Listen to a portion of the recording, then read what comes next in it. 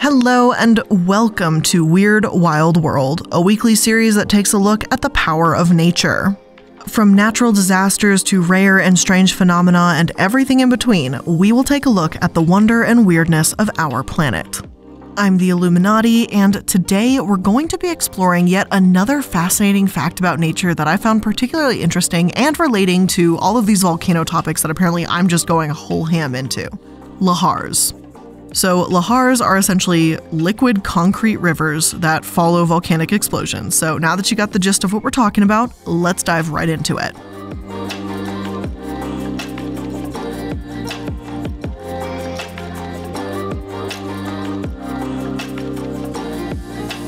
So, a lahar, to put it simply, is mud that flows down from slopes of volcanoes. A lahar is an Indonesian term, however, and these concrete rivers, as they're often referred to, can be found around stratovolcanoes all over the world. The reason why lahars almost always occur by these kinds of volcanoes in particular is because stratovolcanoes tend to erupt explosively, and their tall, steep cones are either snow covered, topped with a crater lake, constructed of easily eroded rock debris, or internally weakened. Lahars are common under these conditions because, well, think of them as a volcano landslide. Tall, steep cones and rocks are going to make them all the more dangerous. Although it may be known as a volcanic mudflow, lahars can vary in temperature and they don't actually need a volcanic eruption to occur, which is something I didn't actually know. One source states eruptions may trigger lahars by melting snow and ice, such as the snow and ice you may find on top of a volcano, or by ejecting water from a crater lake. Pyroclastic flows can generate lahars when extremely hot flowing rock debris erodes, mixes with, and melts snow and ice as it travels rapidly down steep slopes. Lahars can also be found when high volume or long duration rainfall occurs during or after an eruption. On steep slopes, rainwater can easily erode and transport fine grained, loose volcanic sediment and form a slurry, especially if vegetation has not had time to grow back on recent volcanic deposits. Some of the largest lahars begin as landslides of wet, hydrothermically altered rock on the steep flanks of volcanoes. These types of collapse and resilient lahars are natural events during a stratovolcano's life history and can occur long after it stops erupting. Lake breakout floods that occur without an eruption can also lead to lahars. They commonly occur after a stream becomes blocked by a volcanic landslide or pyroclastic flow that forms a natural dam. The most frequent cause of lake breakout is the overflow of water across a newly formed natural dam, followed by rapid erosion of those loose rock debris. By further erosion and entrainment of sediment and water, the initial flood can transform into a slurry and increase in volume as it races down valley. Although when you think of the word debris, you might think of normal rocks, the boulders that these lahars can carry can be the size of a car.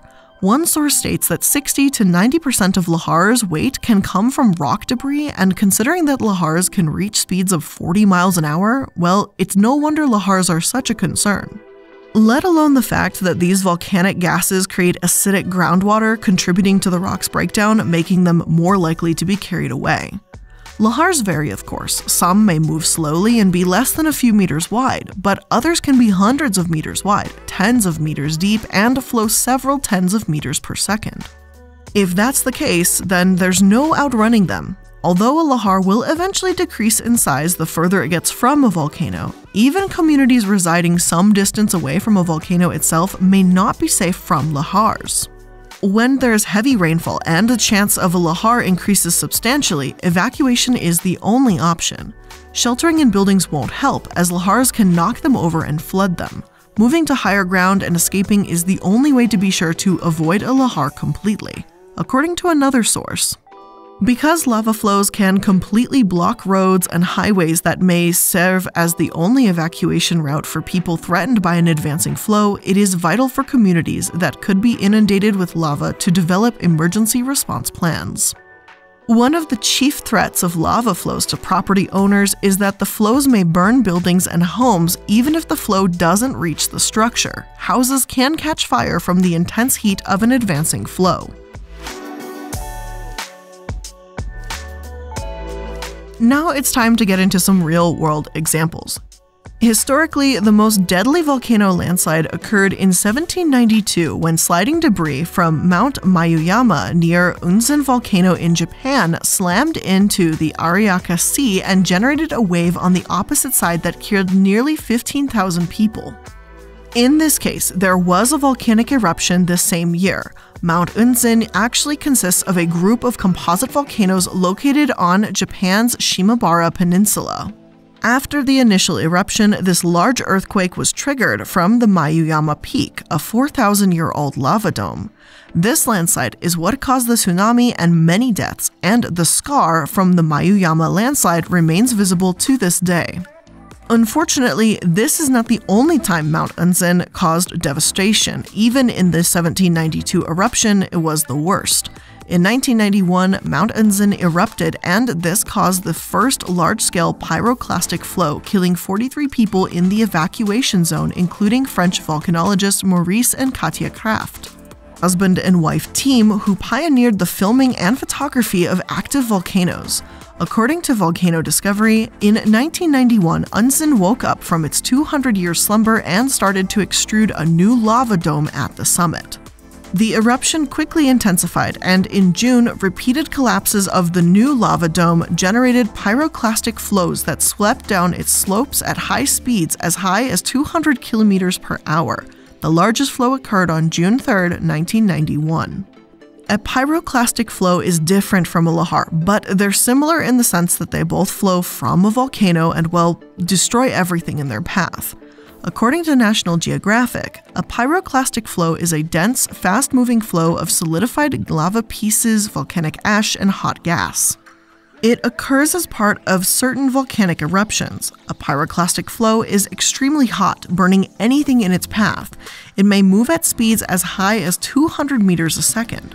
Pyroclastic flows form in various ways.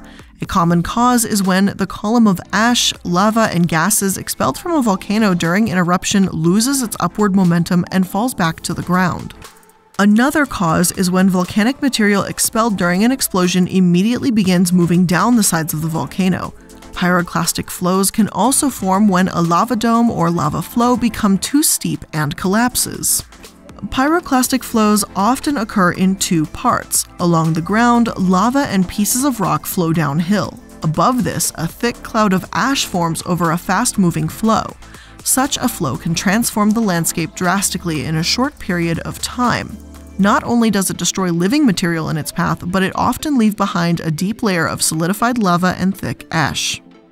Pyroclastic flows may result in flooding as streams are blocked or rerouted by the flow. Floods may also occur when the flow of hot material melts snow and ice, swelling rivers and streams beyond their banks.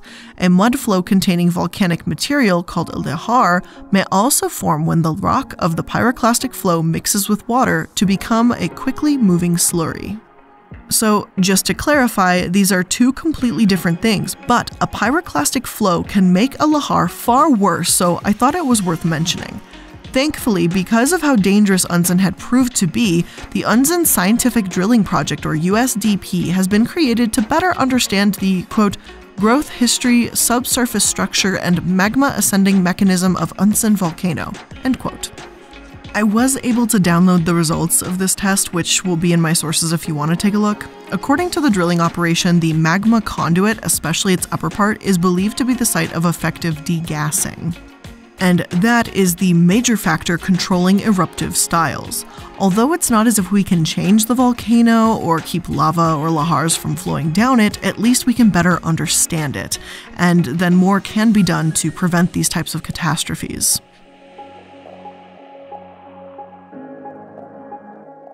Despite this, it wasn't until 1985 when lahars fully gained worldwide attention. According to one source, the Pacific Northwest Seismic Network, this was due to the Nevado del Ruiz eruption. The lahar proceeded in three major pulses. One of the lahars virtually erased Armero. Three quarters of its 28,700 inhabitants were killed. The first lahar was 30 meters, 100 feet deep, moved at 12 meters per second, and lasted 10 to 20 minutes. Traveling at about 6 meters, 20 feet per second, the second lahar lasted for 30 minutes and was followed by smaller pulses. A third major pulse brought the Lahar's overall duration to roughly two hours. By that point, 85% of Armero was enveloped in mud. Pierce County has mapped and installed signs for volcano eruption routes in case of lahars, a warning system triggered by sensors on the mountain near the Carbon and Puyallup River channels will activate sirens to warn residents downstream. As we mentioned, there doesn't need to be an eruption in order to create a lahar. In this case, according to the sources, the eruption was relatively small, and yet more than 20,000 people died. The tragedy became South America's worst and globally the fourth worst volcanic disaster, as some would say, and it could have been easily avoided as well. One source claims the event caused heated debate because government officials chose to ignore volcanologist warnings of an advancing lahar. And the eruption itself had been preceded by seismic activity for a year. This isn't completely accurate. The government didn't ignore warnings, but unfortunately, there was a communication breakdown, which I'll explain further in just a moment. But let me reiterate this wiped out over 70% of a town's residents. Though the numbers may be different from source to source, it's always been at least 20,000 people. In this case, the lahar occurred because the eruption melted snow and ice from a glacier capping the volcano. This isn't the only time the volcano Ruiz has caused devastation either. Ruiz did kill over 1,000 people when lahars flooded the upper valley in 1845. Though 1845 may have been 140 years prior, it's not as if lahars were an inconceivable notion in the area. Lahars were known to be dangerous there, and they absolutely need to be taken seriously. On the other hand, Earth Magazine says that emergency planning did not begin in early 1985. It's not as if nothing was done, but simply wasn't enough. Geothermal researchers visited the summit in January, but in February, the region's only seismograph broke. The Colombian Institute of Geology and Mining did request another, and the USGS, Costa Rica, and Swiss Disaster Relief Corps and Swiss Seismological Service all sent equipment. The USGS Deputy Chief for Latin America wrote in a note to the United Nations Disaster Relief Organization The opportunity is clear, and it is unfortunate that we can spare no one from the Hawaii or Cascades observatories. If the volcano is to blow, let us hope that both we and the Colombians are prepared. On September 11, 1985, Ruiz blew gas and steam in a phreatic or water related eruption for seven hours, but no magmatic eruption occurred. It was only then that a response plan was developed. Then, two months later, on November 13, 1985, Ruiz sent up steam and gas in another eruption. Then the rain began, and six hours later, the magmatic eruption started. It only took an hour after the eruption began for the first lahar to reach the closest town. On the night of the deadly eruption, everything should have been in place to evacuate. Before leaving in September, Martinelli, a seismologist from the Swiss Seismological Service, commented that he was convinced that everything would be done to limit the possible damage. The Lahars killed tens of thousands, destroyed 50 schools, two hospitals, and more than 5,000 homes. Even if the Lahar was bound to destroy these buildings, how did the evacuations fail so spectacularly? Volcano emergency management is not easy, Marso, a geologist with USGS, says. It takes communication and trust among scientists, local residents, and government officials. In the case of Ruiz, it almost worked perfectly, says Marso, until it didn't. In the aftermath, researchers realized that one of the biggest problems was that Armero and the towns nearest the volcano were without power, so communication broke down. The scientists had no ability to alert the townspeople to evacuate. With 2 hours and 21 minutes between the eruption and the first lahar reaching Armero, the town could have been evacuated if communication systems worked. In the wake of the tragedy, two agencies, the U.S. Geological Survey and the U.S. Agency for International Development Office of U.S. Foreign Disaster Assistance, came together to launch the International Volcano Disaster Assistance Program, VDAP, to track and monitor the world's 1,550 potentially active volcanoes. Since its inception 30 years ago, VDAP has aided in more than 30 international crises, including the 2007 eruption of Nevado del Huila in Colombia, during which 4,000 people were safely evacuated. Ruiz is an absolutely seminal event in modern volcanology by virtue of demonstrating the hazards of long reaching lahars from snow and ice clad volcanoes, said Jeffrey Marso, a geologist with USGS and VDAP team member who was sent to Colombia the days after the eruption. We know now, he said, that a relatively small eruption on a high snow and ice clad volcano can produce lahars that threaten populations tens of kilometers away. Now, Ruiz is one of the most monitored volcanoes in the world. It's tragic that it took such a massive loss of life for lahars to be taken more seriously, but at least as science develops, we can better understand how to stop them. Indonesian volcanoes have been on high alert for lahars in recent years. In 2010, mud flowing down the sides of Mount Merapi, triggered by heavy rains, reached steeps of 60 miles an hour. Indonesia alone is home to 129 active volcanoes, the two most active being Mount Merapi and Mount Kelut. Though Merapi has a violent history and 1,300 people were killed in 1930, there were only two deaths from an eruption in 2006. Any volcanic death is tragic, and I do hope we can obviously get the number to zero, but I'm relieved that things appear to be improving. Almost 1 million USD, or 9 million RP, has been spent on examining the peak of Merapi using an optical remote sensor technology called LiDAR. The area is also continuing to construct dams and other supporting facilities. Lahar floods have still destroyed hundreds of homes and hectares of field, but the people in the area of Mount Merapi seem to be on high alert. One article states, the other Indonesian volcano making news is Karangetang, but unlike Merapi, this volcano is actually erupting. Explosions and pyroclastic flows from Karangetang have prompted the evacuation of over 1,200 people so far, and the activity has damaged a number of buildings near the volcano.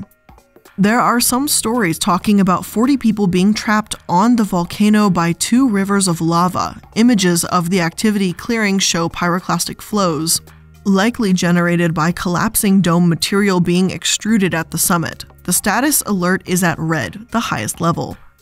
A more recent source states that lava did effuse from the volcano in 2019 and that an eruption plume has recently been observed rising.